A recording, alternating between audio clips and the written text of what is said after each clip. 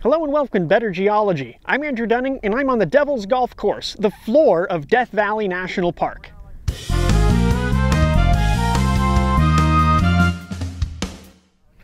Around me is the salt pan of the Badwater Basin, the lowest point in North America. I am over 280 feet below sea level here.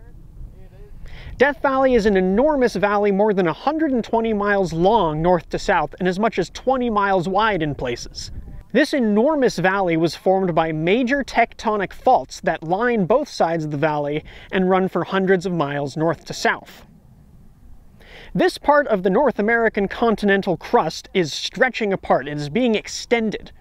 And that allows for large mountain ranges like the Panamint Range behind me to rise up and valleys to form between them to drop down. The mountain range behind me is more than 11,000 feet high and the mud and sediments below my feet are more than 10,000 feet deep.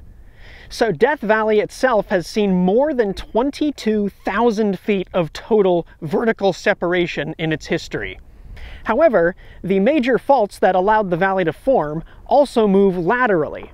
Parts of the Panamint mountain range behind me have moved as much as 60 miles north from their original position relative to the Black Mountains on the other side of the valley. But why is there so much salt here in the floor of Death Valley? Well, it's because this is a closed basin. All of the sediment and dissolved minerals that wash off of the mountains in the rain and groundwater seeping in from the surrounding region cannot escape from this valley.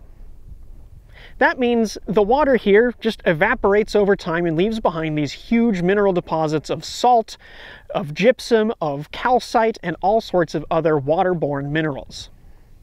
A huge amount of the salt here was left behind after a large lake called Lake Manly filled the valley and then dried up.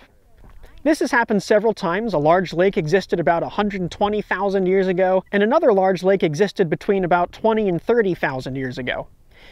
These lakes were as much as 600 feet deep at their greatest extent, and the amount of dissolved minerals in that amount of water left behind huge deposits of salt here in the lowest part of the valley. This part of the salt pan is covered in rock salt towers. This part is called the Devil's Golf Course because it is deceptively smooth from a distance, and once you get up close to it, it is actually extremely rough. These pinnacles are made of solid rock salt with a little bit of mud mixed in. It is literally as hard as any other rock, and it makes for very difficult and slow travel across the salt pan. In places where the salt is flatter, you will occasionally have brine pools, these salty areas will occasionally dissolve and leave an opening to the groundwater table, which is only about a foot below the surface here. This allows you to see the clear, uh, ultra-saturated water that underlies the sediments of Death Valley. I'm here at one of the brine pools that are occasionally found on the Devil's Golf Course.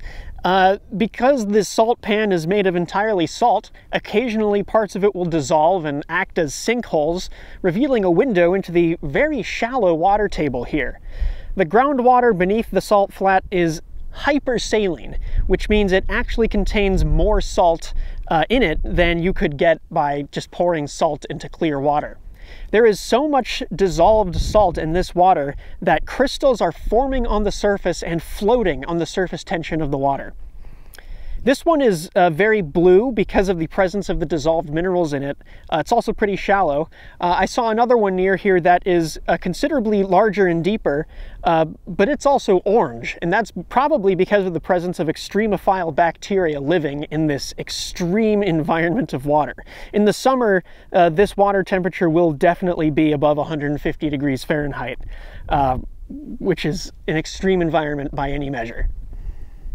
This has been Better Geology. I'm Andrew Dunning. Thank you for watching.